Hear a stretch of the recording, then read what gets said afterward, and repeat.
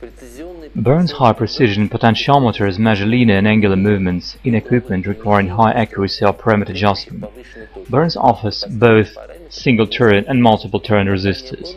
3541H potentiometer is a multiple-turn variable resistor manufactured under Hybritron technology with conducting polymer-coated white resistor element. These are the specifications. Number of rotations 10. It can sustain up to 1 5 million cycles. Operating temperature ranges from minus 40 to plus 125 Celsius degrees. Power is 2 watts. It produces maximum 100 ohm noise. The smoothness of response is maximum 0.1%.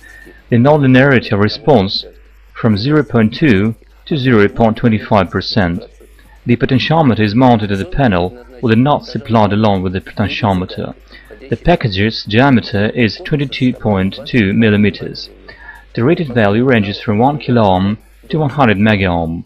Bourns 3541H high precision variable resistors find a wide utility in medical and manufacturing equipment and instrumentation.